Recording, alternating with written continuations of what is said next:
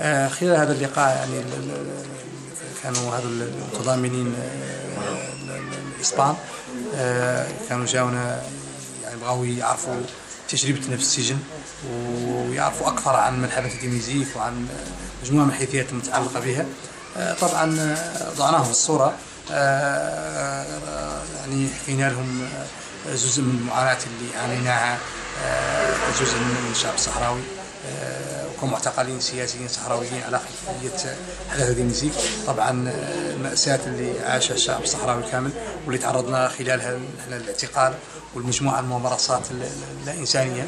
اذا نقلنا هذا هذه هذه الصورة على الأقل أو جزء منها آه، كذلك أعطيناهم آه، وضع الوضعيه القانونيه والمتابعات القانونيه اللي اللي كانت طبعا كانت كاملة جائره وكانت كاملة يعني تعطي الدليل اخر عن الدولة المغربية. لا تحترم أبسط آه، حقوق الإنسان خصوصا الإنسان الصحراوي المحتله اذا آه، باختصار آه، وضعناهم في صورة معاناتنا في صورة اعتقالنا في والتمسنا منهم وبالمناسبة نقدم لهم الشكر آه، ومن خلالهم لجميع المتضامنين الأجانب مع الشعب الصحراوي. الحركة المتضامنة مع الشعب الصحراوي سواء في إسبانيا أو في أو في غيرها من الدول الأوروبية أو عبر العالم.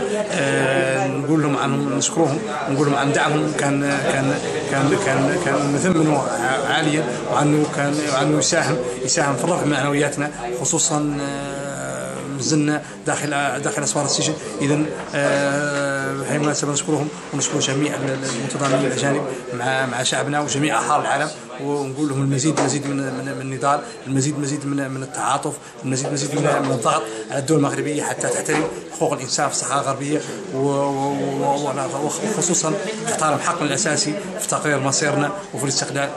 وشكرا.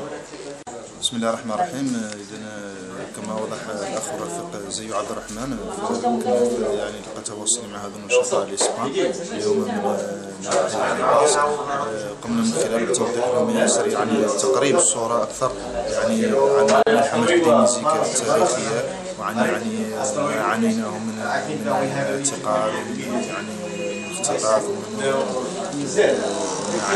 داخل السجون أو حتى داخل مخافر الشرطه من تعذيب وما إلى ذلك. ويعني تم توضيح الكثير من الأمور حتى من الجانب القانوني ومن الجانب الحقوقي بما يخص المحاكم والى غير ذلك. فنحن نتوجه لهم بالشكر ونتوجه بالشكر مع كل متواطن- المتضامنين معنا مع الشعب الصحراوي وكل الوطن والشهاده